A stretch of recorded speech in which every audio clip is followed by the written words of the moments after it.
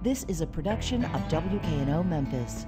Production funding for Sports Files is made possible in part by the WKNO Production Fund, the WKNO Endowment Fund, and by viewers like you. Thank you. My guest today on Sports Files is the Deputy Athletic Director of the University of Memphis, Wren Baker.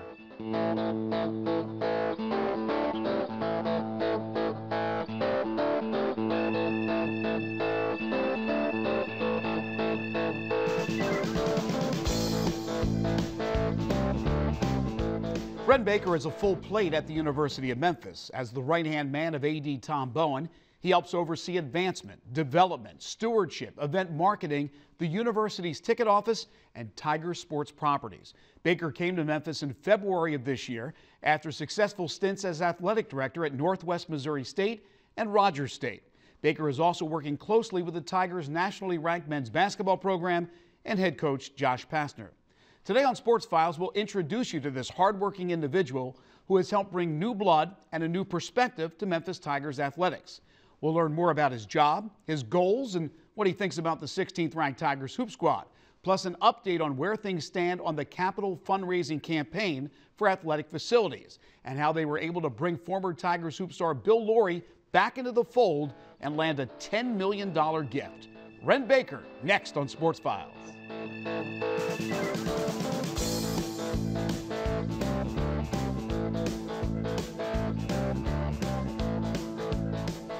Wren, thanks so much for joining us today. Well, thanks for having me, Greg. It's always a pleasure to, to be with you and always a pleasure to have any opportunity to discuss Memphis Tiger athletics. Well, as I mentioned from the outset of our uh, broadcast tonight, you have a lot of things that you're associated with. You wear many hats over at the university. So, for the folks out there, explain some of your responsibilities.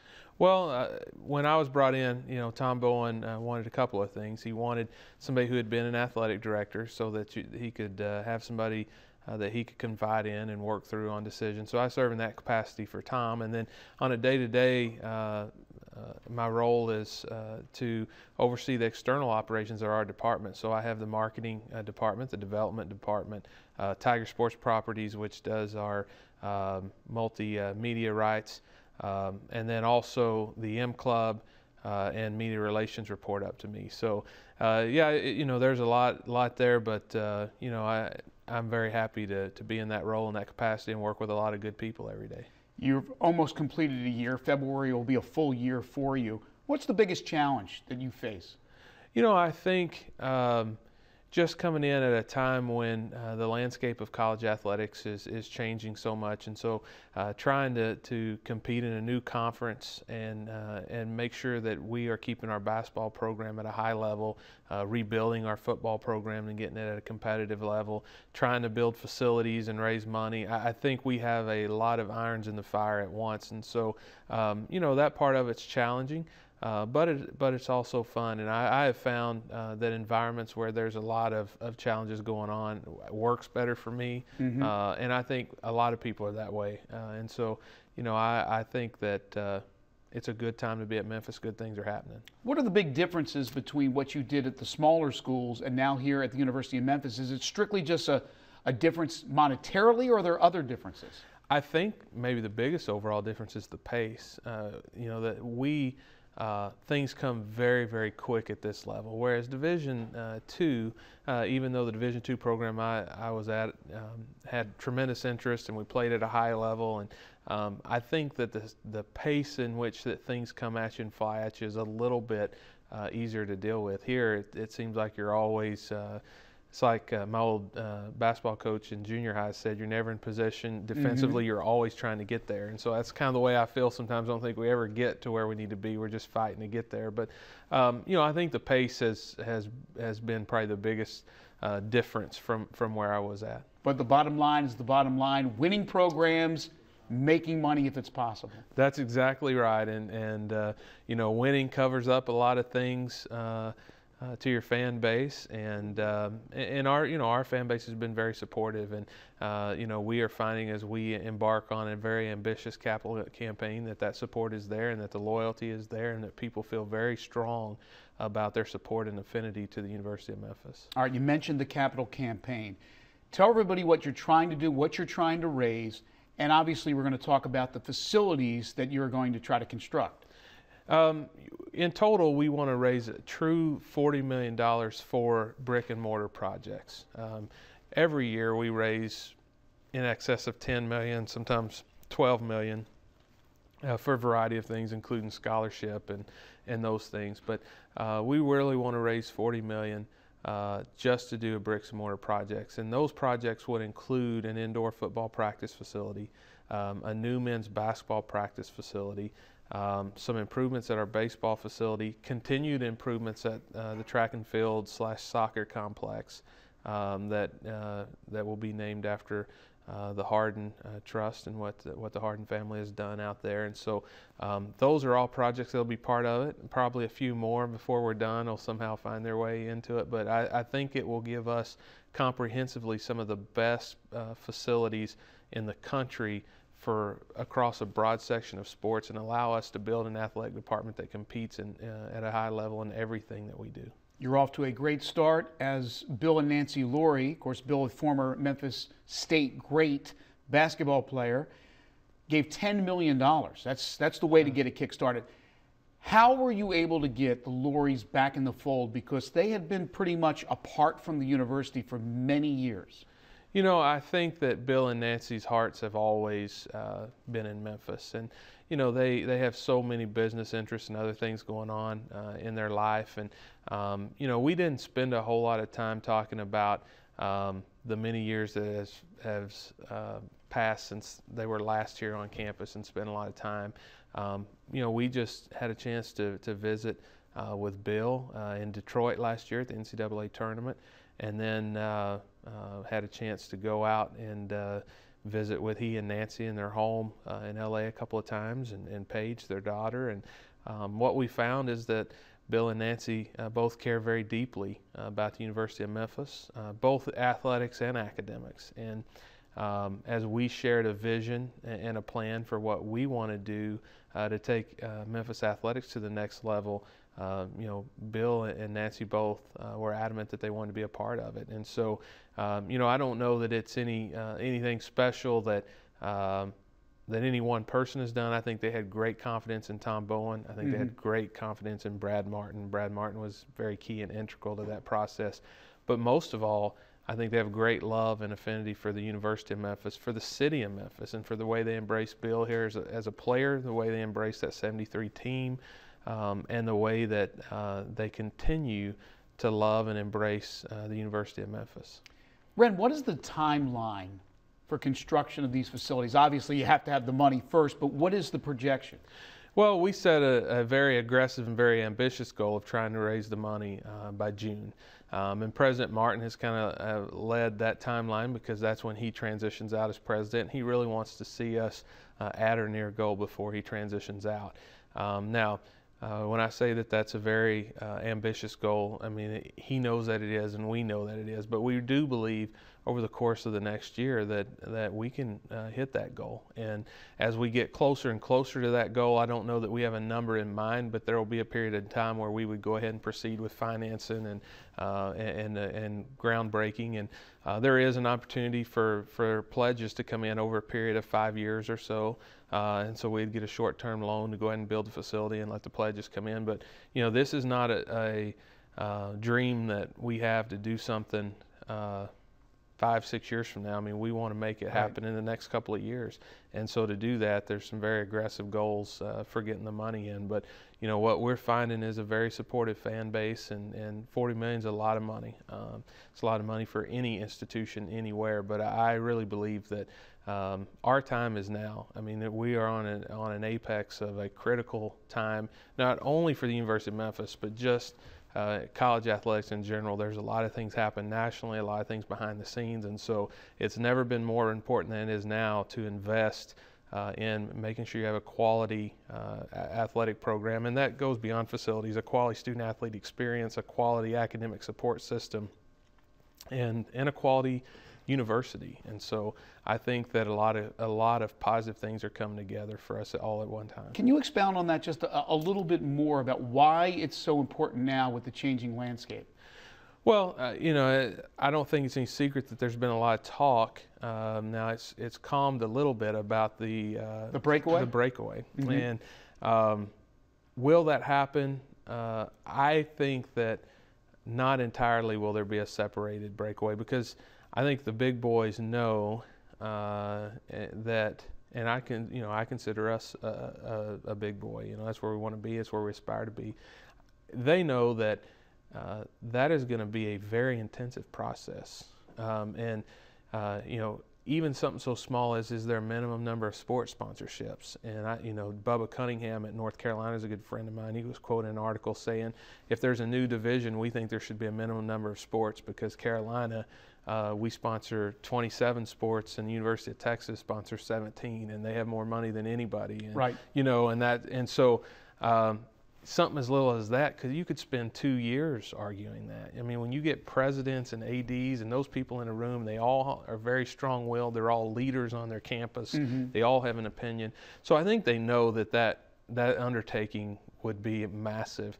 And so I really think that uh, what you'll see is them stay under the NCAA umbrella, but uh, that there'll be a different set of, of uh, rules and, and circumstances. And, and you know, whatever happens there, we want to make sure that the University of Memphis is poised to compete at the highest level, whatever that is. And I don't think any of us have the answer for what that's going to look like. If we did, uh, we'd be the highest paid uh, athletic administrators in the country because everybody wants the answer. But I do think that it's our, our charge and our goal to make sure whatever that looks like, that the University of Memphis is a part of it.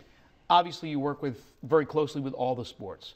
You work very closely with Josh Pastner and the basketball team. I want to get to them in a second. That's that's the positive. The negative still is the development of this football program.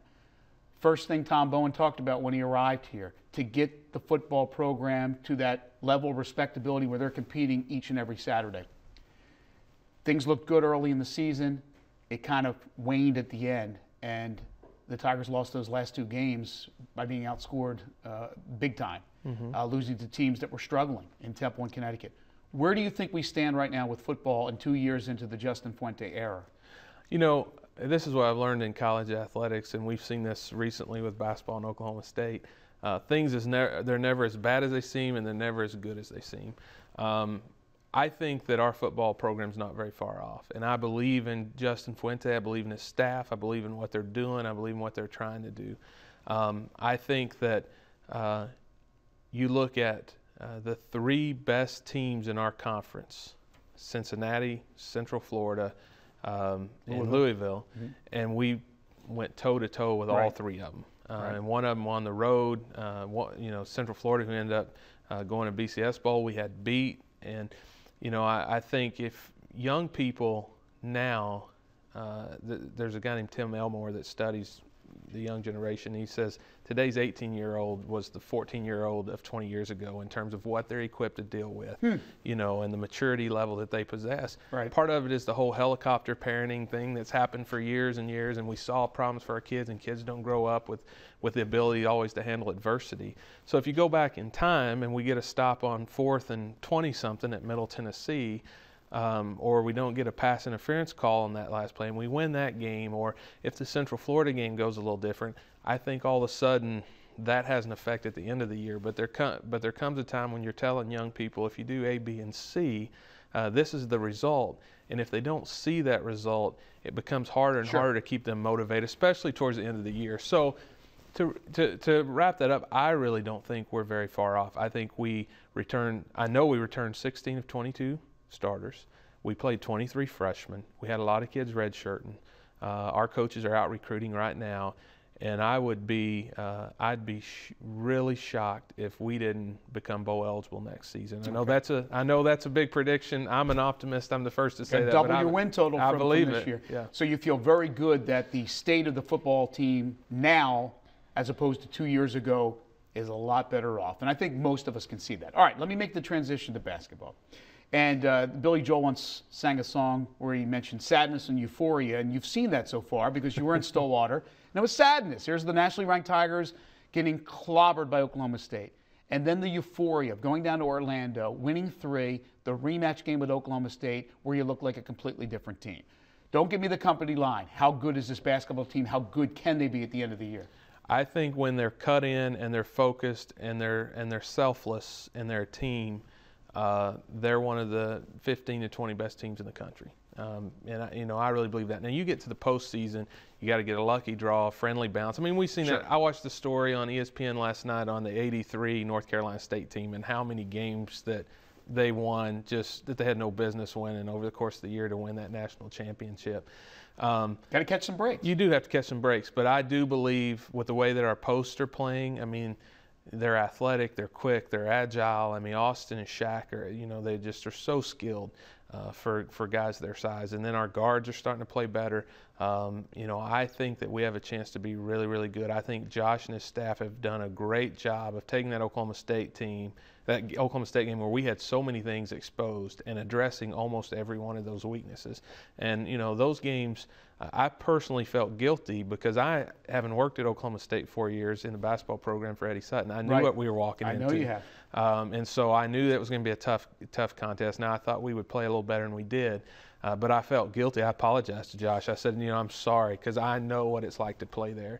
Um, but you know, he told me then, and he's reiterated, it since. Don't apologize because we needed to get exposed. We needed to see that uh, so that we can focus on getting better as a team, and they've done that. And I think they got a chance to be very, very good. All right, give me give me a quick answer if you have a quick answer to, to this question.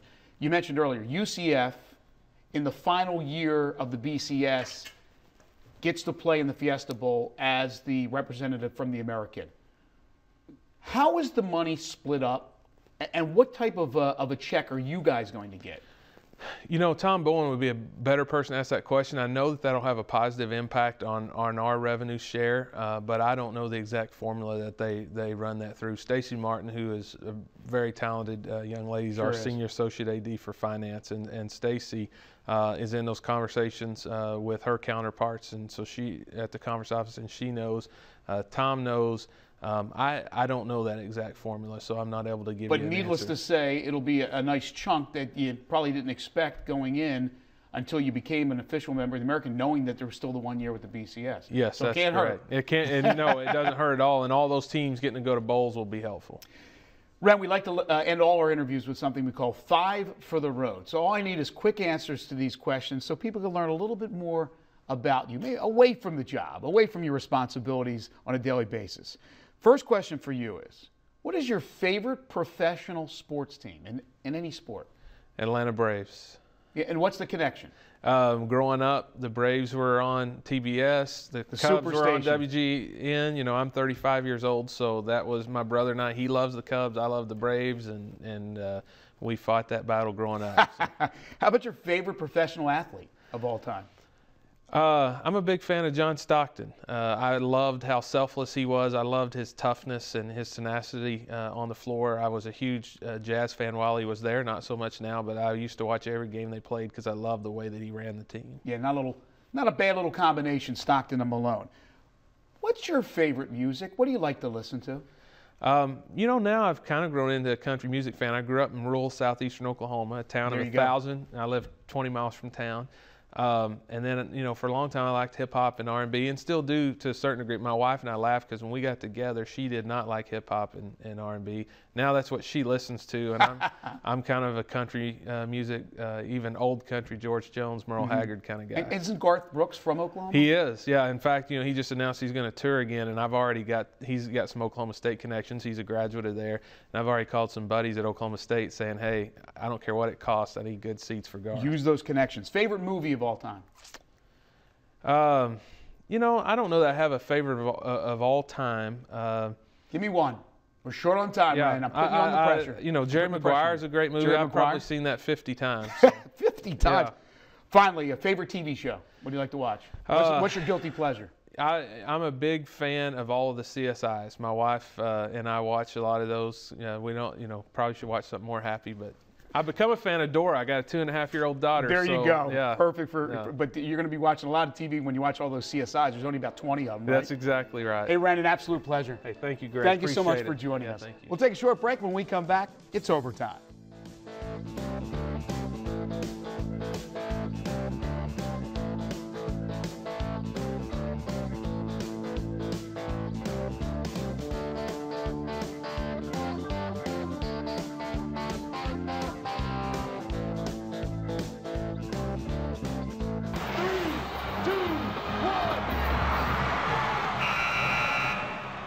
Earlier this month, the Memphis Amateur Sports Hall of Fame welcomed 14 new members. Ceremonies for the 44th annual event were held at the Memphis Hilton, and among the inductees was golfer Barry Stafford, boxers Edgard Buffalo and Frank House, and game official Don DeWeese.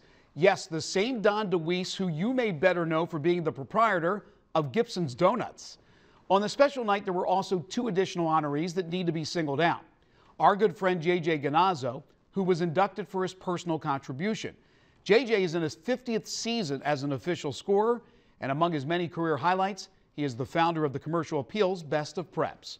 Also, the great Larry Finch was posthumously given the Hall's Lifetime Achievement Award for his prowess on the court as one of the greatest round ballers to ever grace the Memphis hardwood, both as a prep at Melrose High and during his college days at Memphis, in addition to being the all-time winningest head coach in the history of the University of Memphis. Photographer Kurt Rare was at the event and filed this report.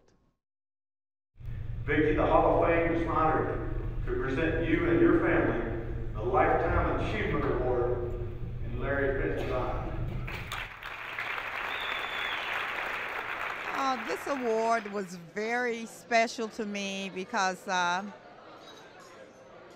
Larry has always shared his life with um, people and for them to remember him and he's still sharing. Um, he loved the community, he loved the people, and for this organization to think so much as to name um, award after Larry is just really, really special to me. And I'm sure he would have just been totally honored that they thought enough of him to still name something like that after him. Your love of the game, well as your tremendous knowledge, the places, places you at the very top of your profession. And as such, you are certainly Hall of Fame worthy. We certainly agree. Please welcome John Venuto. To be honored by all these people tonight that you worked with and played with and everything, and then to step in where the former recipients that just remarkable. I mean, unbelievable. Uh, uh, I'm honored, uh, humbled, you know, all those adjectives, but you really are when you see people like Vicki Finch with Larry Finch and George Moreland's uh, wife getting the award and, and all those people. It was just, just a wonderful experience. Elmer Ray, who's in this Hall of Fame, gave me a school book one day and said, "You're it." I had to go to town to buy a, school, a rule book, and ever ever since then it's been history. Six thousand games, but probably the good, the best thing I can remember is just just working with all the young people, doing best of the preps, doing high school baseball, college baseball, uh, you know, and then being recognized by the Hall of Fame in Cooperstown. Uh, that that was a, an experience too the senior vice president, Bill Haase, uh, this year sent me a very nice uh, letter, commendation, recognizing me for my work with American Collegiate Baseball and, and, amateur baseball and professional baseball, and said I would have been first ballot inductee. Tell me why Amateur Sports Hall of Fame is important. Well, amateur sports is a pure sports. You don't get paid. Most of the coaches in amateur sports are volunteers. High school sports are basically the same thing. You play for the fun of it, and most of the athletes, uh, all of the athletes, they play with heart and determination instead of for money. And you know, it's, it's, I mean, I just love amateur sports. And congrats to all the new members of the Memphis Amateur Sports Hall of Fame. Okay, several things I need to point out before we wrap things up. First, the Memphis Tigers football team closed out the season last Saturday by dropping a 45-10 decision at Connecticut. The Tigers finished 3 9 and lost their last two games by a combined 86 31 margin. In the meantime, the Memphis Hoop team has won 5 straight heading into tonight's game against Arkansas Little Rock. On Tuesday, the Tigers will return to the national spotlight when they face Florida in the Jimmy V Classic at Madison Square Garden in New York City. And the Grizzlies are in New Orleans tonight and will return home to face Minnesota on Sunday and the Lakers Tuesday night. The Grizzlies continue to get rocked by injury as Quincy Pondexter became the latest casualty. Cupon has a stress fracture in his right foot that will keep him out the rest of the season. The team is currently dealing with Marcus Gasol's sprained MCL, and at various times this season have lost Tony Allen, Zach Randolph, Ed Davis, and Jerryd Bayless to injury. And that'll do it for the show. Remember to see any of our previous offerings. Simply head to our website, WKNO.org, and click on KNO Tonight. Next week, we're back on in our usual Thursday, 8.30 p.m. time slot. So until then, have a great week, and we'll see you next time.